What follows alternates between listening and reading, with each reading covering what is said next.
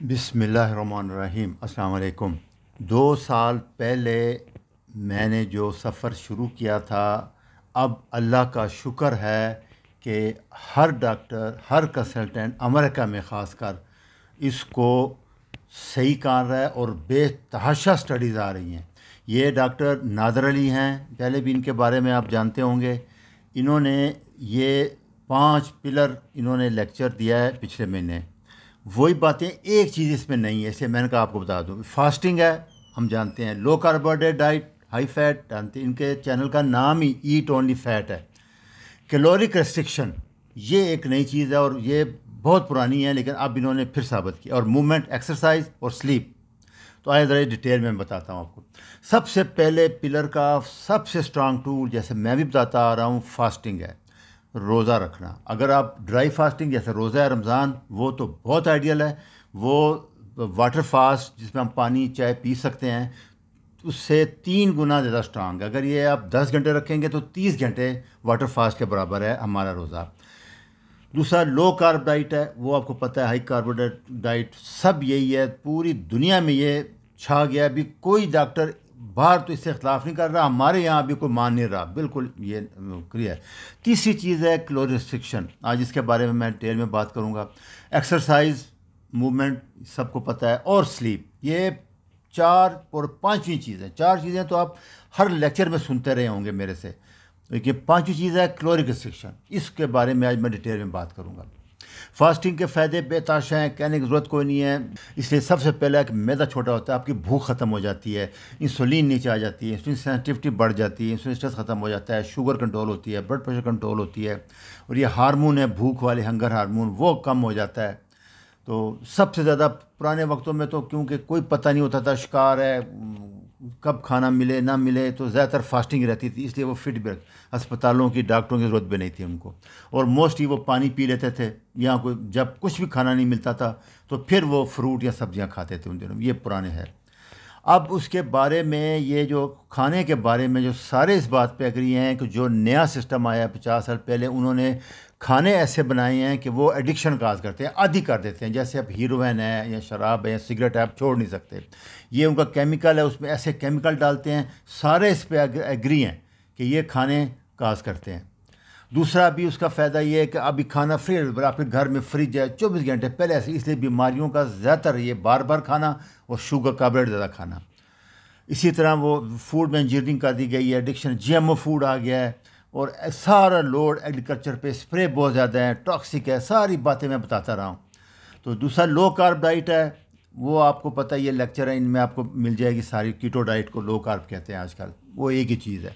दूसरा caloric restriction कि जितना आपको भूख है, उसका ये अगर काश इन्होंने हदीसें पढ़ी होती इन्होंने, हमारे साइंटिस्ट ने तो आज से चौदह साल पहले इनको पता था। रुपाक ने भी ये फरमाया था कि मैदे के तीन हिस्से हैं, एक खाने के लिए, एक पानी के लिए और एक हवा, सांस लेने के लिए।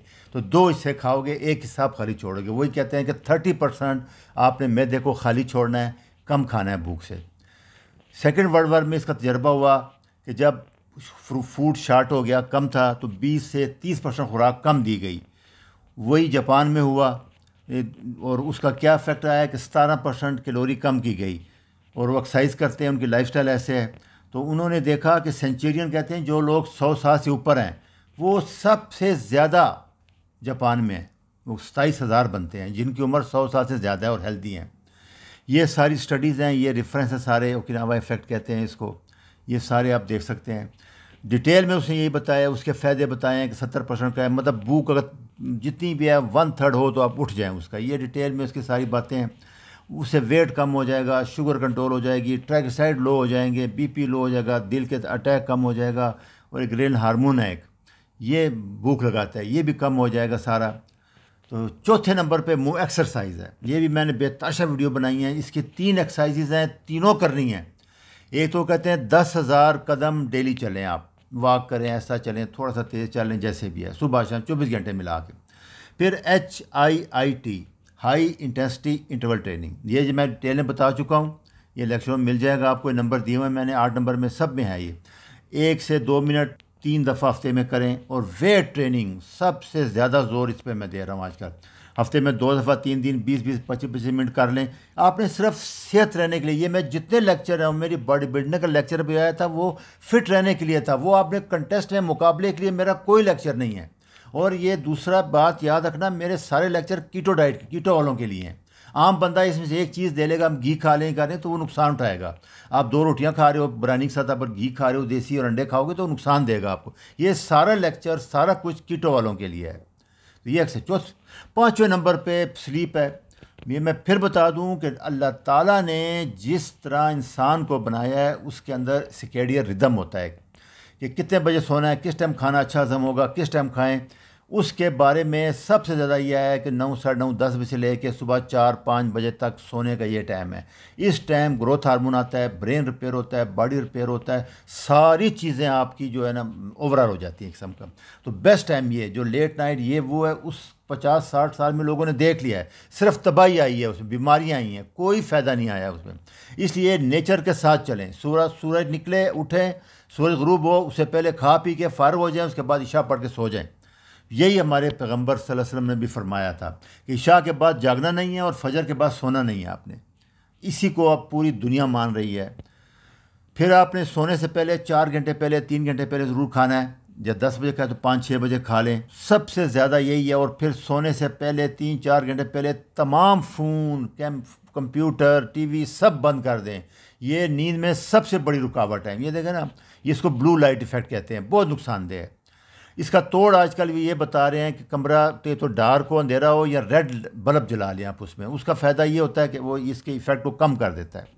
ब्लैडर पेशाब करके सोएँ, सोने से पहले ज़रूर खाली तीन घंटे पहले पानी भी ना पिए ताकि उठना ना पड़े, नींद डिस्टर्ब ना हो। कमरा ठंडा होना चाहिए, जितना ठंडा होगा उतनी अच्छी नींद आएगी आपको। यह आपको मैं बताता हूँ कि हमारा एक सुपर हीरो है आजकल टॉम क्रूज़ उसने इन पाँचों चीज़ों में अमल किया है सारा। ये उसकी फ़ोटो देखें आप ट्वेंटी नाइन ईयर एज ये उसके साथ हीरोइन थी नाइनटी सिक्स में। ये अब, इसकी फ़ोटो अभी है ट्वेंटी ट्वेंटी टू की। ये साठ साल का है और वो देखें, वो एक्सरसाइज उस पर अमल नहीं कर रही थी, उसकी जिसम देखें। ये इसकी सारी वीडियोज़ हैं। इस पर बहुत बहस हो रही है, इसकी डाइट चार्ट है, सारा मुझे किसी ने डिमांड किया था कि शेयर करें। ये देखें, ये इसकी नॉर्मल रिक्वायरमेंट ढाई तीन हज़ार किलो है, ये बारह सौ किलो डेली खा रहा है और लो कार्ब डाइट है, इसमें कोई शक नहीं है।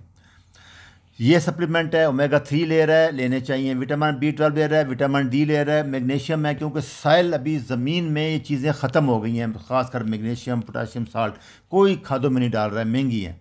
इसलिए ये वहाँ भी लेनी पड़ेगी, यहाँ भी लोगों को लेनी पड़ेंगी अभी खाम खा ये देखें जॉगिंग करता है हाइकिंग करता है फेंसिंग करता है काफ़ी एक्सरसाइजिंग है, इसकी सारी डिटेल आगे मिल जाएगी, आपको वीडियो का लिंक है। ये बॉडी बिल्डिंग है इसकी। हफ़्ते में तीन दिन, एक दिन आर्म के करता है, एक दिन चेस्ट के करता है, एक दिन लोअर की करता है एक्सरसाइज ये इसके तीनों डिटेल मैंने दे दी हैं। डिमांड किए थे, तीन सेट लगाता है, दस रिपटेशन ये रेफरेंस है लेक्चर का, इसको दोबारा सुन लें, वही बातें हैं, इसी लाइफ स्टाइल को अपनाएँ ताकि आप बग़ैर ड्रग डॉक्टर और बीमारियों से बचे रहें। अच्छा जी अल्लाह हाफिज़।